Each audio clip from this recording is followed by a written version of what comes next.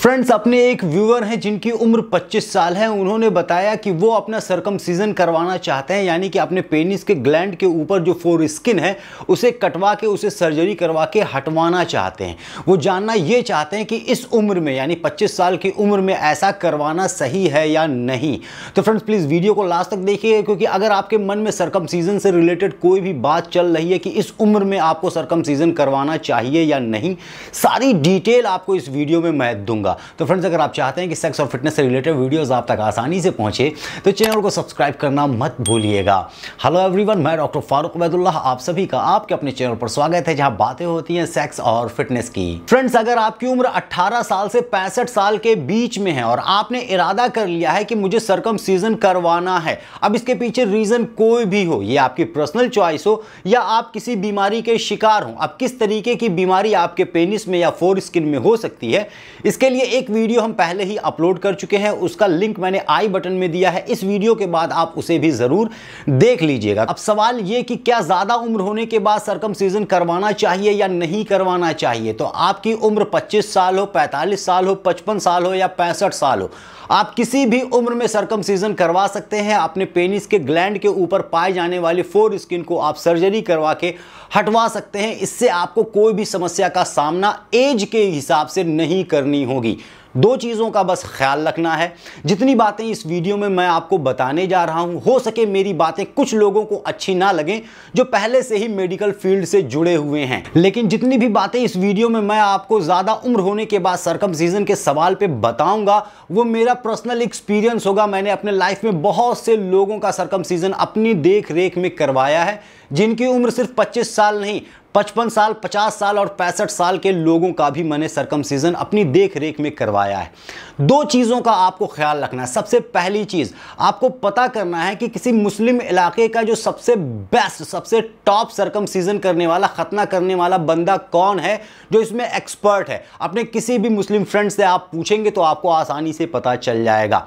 अगर ये बंदा, ये एक्सपर्ट बंदा जो मुस्लिमों के घर में जाके, मुस्लिमों के बच्चे का खतना जो करता है, ये एक्सपर्ट बंदा अगर आपको मिल जाता है तो आपको किसी सर्जन का सहारा लेने की ज़रूरत नहीं।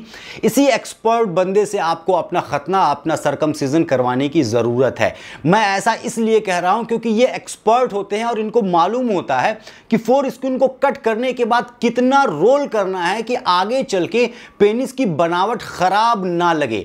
सर्जन के साथ ये प्रॉब्लम ये है, वो सर्जरी करके कट करना तो बहुत अच्छे से जानते हैं, लेकिन फोर स्किन को पेनिस में बैक करके रोल किस तरीके से करना है, इसे वो बहुत अच्छे से नहीं समझ पाते। ये मेरा अपना मानना है और जितनी बातें मैं आपको बता रहा हूँ, ये सिर्फ़ मेरा पर्सनल एक्सपीरियंस नहीं है। कुछ लोग जो मेडिकल फ़ील्ड से जुड़े हैं, वो उसके कमेंट में आके कुछ उल्टी सीधी बातें कहें तो मैं आप लोगों को यहाँ बता दूँ कि मेरे ग्रैंडफादर भी डॉक्टर थे, मेरे फादर भी डॉक्टर हैं और मैं भी डॉक्टर हूँ। कम से कम हंड्रेड प्लस ईयर्स का एक्सपीरियंस अभी बोल रहा है आपके सामने ओल्ड एज में या ज़्यादा एज में पेनिस के सरकम सीज़न के सवाल पे। जितने लोगों को हम लोगों ने देखा है, जो सर्जन का सहारा लिए हैं सरकम सीज़न के लिए, अक्सर उनको बहुत परेशानियों का सामना करना पड़ा है। तो वो बेस्ट बेस्ट बंदा जो मुस्लिमों के घर में जाके सरकम सीज़न करता है, खतना करता है, वो आपकी पर्सनल चॉइस होनी चाहिए। वो नहीं मिलता है तो आप किसी भी सर्जन के पास जाके करवा सकते हैं, किसी भी तरीके की कोई परेशानी की बात नहीं है। दूसरी चीज़, जब कम उम्र में ख़तना होता है, कम उम्र में सरकम सीज़न होता है तो जो ज़ख्म है, वो बहुत जल्दी हील हो जाता है, बहुत जल्दी भर जाता है। लेकिन उम्र जितनी ज़्यादा होती है, उस ज़ख्म को भरने में, उस ज़ख्म को सूखने में हील होने में, उतना ज़्यादा टाइम लगता है। तो अगर आपकी उम्र ज़्यादा है और ज़ख्म सूखने में थोड़ा सा वक्त लगता है तो आपको परेशान होने की ज़रूरत नहीं। ख्याल बस इस बात का रखना है कि जो भी मेडिसिन आपकी चल रही हैं, उसे आप लगातार अच्छे से लेते रहेंगे और जब तक आपका जख्म पूरी तरीके से सूख नहीं जाता, आपको सेक्स या मैस्टरबेशन से बचना होगा। क्योंकि अगर सेक्स या मैस्टरबेशन आप करेंगे और अगर जख्म आपका हरा है, पहले से ही उसमें जख्म बना हुआ है तो फिर से जख्म खुल जाएगा और आपको प्रॉब्लम होगी। तो जख्म जब तक सूख ना जाए, जब तक आपको तसल्ली ना हो जाए, आप सेक्स या मैस्टरबेशन जैसी चीज़ों में शामिल नहीं होंगे सरकम सीज़न करवाने के बाद। इस उम्मीद के साथ आपसे विदा लेता हूँ। मेरी बातें आपको समझ में आई होंगी। अगर आपको लगता हूँ मैं मेरे वीडियोज़ आपके लिए, आपके फ्रेंड्स के लिए सोसाइटी के लिए थोड़े से भी फ़ायदेमंद हैं तो प्लीज़ लाइक शेयर कमेंट और सब्सक्राइब करना ना भूलें। Thanks a lot